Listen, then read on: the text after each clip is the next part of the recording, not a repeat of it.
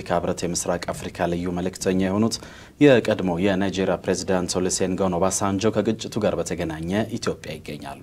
ከልዩ መልእክተኛው ጥረት ጋር በተያያዘም የኢትዮጵያ መንግስት አቋም ምንድን ነው? እያደረገላቸው ያለው ትብብርስ ምን ይመስላል? ብለን የመንግስት ኮሚኒኬሽን አገልግሎት ሚኒስትር ዴኤታዋ ሰላማዊት ካሳን በስልክ ጠይቀናቸዋል።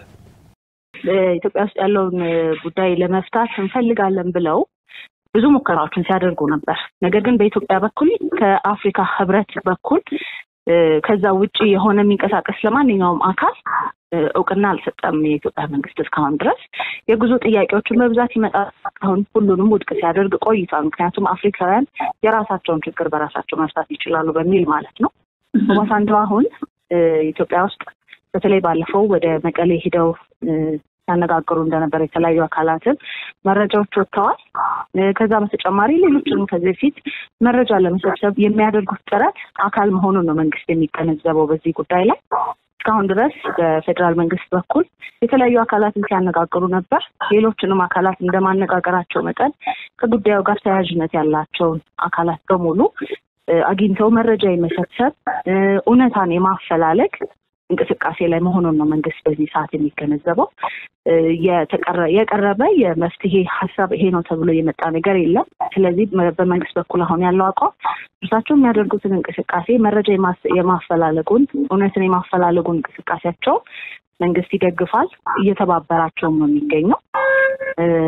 የፈቃደኝነት እንዲሁም የከልካይ ሚናም አይደለም መንግስት እየተጫወተ የሚገኘው ኃላፊነቱ የተሰጣቸው በአፍሪካ ህብረት ኮሚሽን በኩል ነው።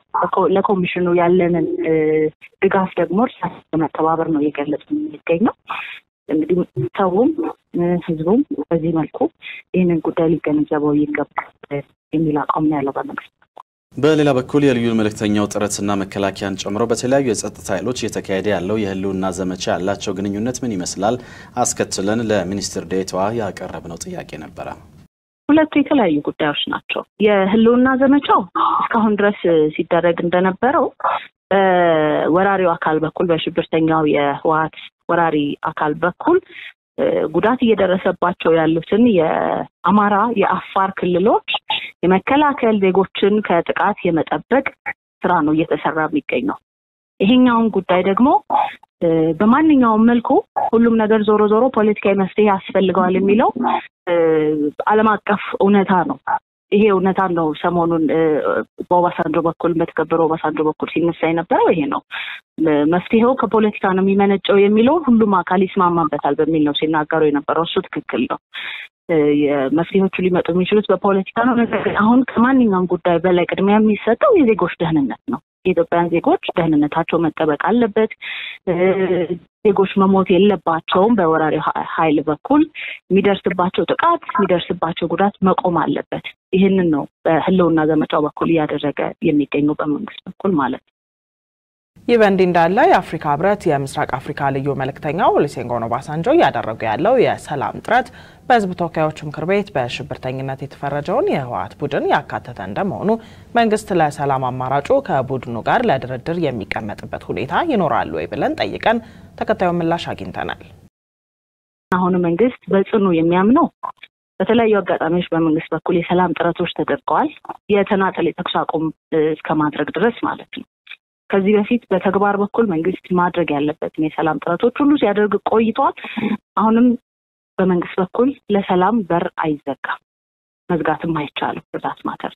ለዛም ነው በአፍሪካ ህብረት ኮሚሽን በኩል ጥረት እየተደረገ ያለውን የልዩ ልኡኩን የተለያዩ እንቅስቃሴዎች መንግስት እየተባበረ የሚገኘው። አሁን የቀረበ ይሄ ነው ተብሎ የመፍትሄ ሀሳብ የለም። ያ በሌለበት አሁን ስለ ድርድርም ስለ ምናምን ማውራት አይቻልም በዚህ ሰዓት ማለት ነው። መነጋገር የሚቻለው መጀመሪያ ትክክለኛ ቤት ላይ ያለው ገጽታ ምን ይመስላል፣ እውነታው ምንድን ነው የሚለው ልዩ ልኡኩ የተሟላ ግንዛቤ እንዲኖራቸው ማድረግ ነው። ያንን ነው መንግስት እየተባበረ የሚገኘው እያደረገ የሚገኘውም እሱን ነው። በነገራችን ላይ በቅርብ ተቋቁሞ ስራውን የጀመረው የመንግስት ኮሚኒኬሽን አገልግሎት ለመረጃ በሩን ክፍት በማድረጉና በተለይም ደግሞ ሚኒስትር ዴኤታዋ ሰላማዊት ካሳ ይህንን መረጃ በመስጠት ስለተባበሩን ለማመስገን እንወዳለን።